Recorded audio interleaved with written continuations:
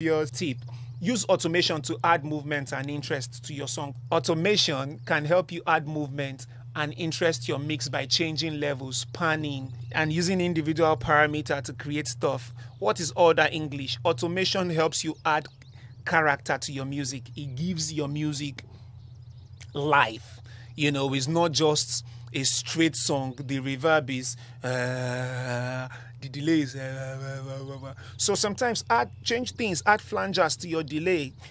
Make set a particular frequency in your delay. Don't let the whole signal delay. Set a part maybe you want just your mid you get your low mid to, to be the delay. Maybe you want just the high mid. I i know low mid feels like this.